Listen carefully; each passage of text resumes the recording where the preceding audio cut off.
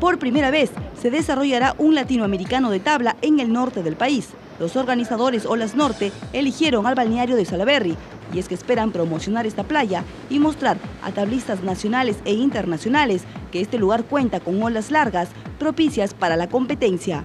Habrá cuatro modalidades que disputarán el título en el puerto salaberrino y tratamos que a través de este evento que vengan los mejores competidores de 14 países, tanto de Latinoamérica como Centroamérica.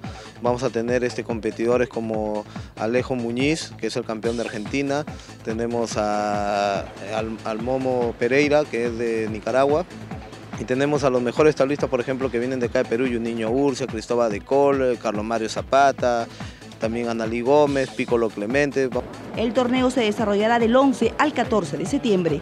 Se eligió a Salaberry por la calidad de ola que tiene, o sea, a nivel mundial o nacional no es conocida esta playa, pero yo creo que a través de este evento se va a tratar de promocionar que se genere turismo acá.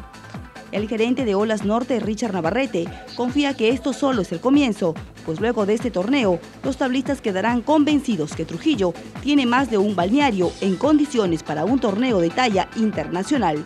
Comenzar a visitar más seguido y acá el negocio de los hoteles, restaurantes va a crecer bastante. Invitarlos a todos a que vengan del 11 al 14 de septiembre acá al Molón, que los vamos a estar esperando y el último día con una gran fiesta de premiación.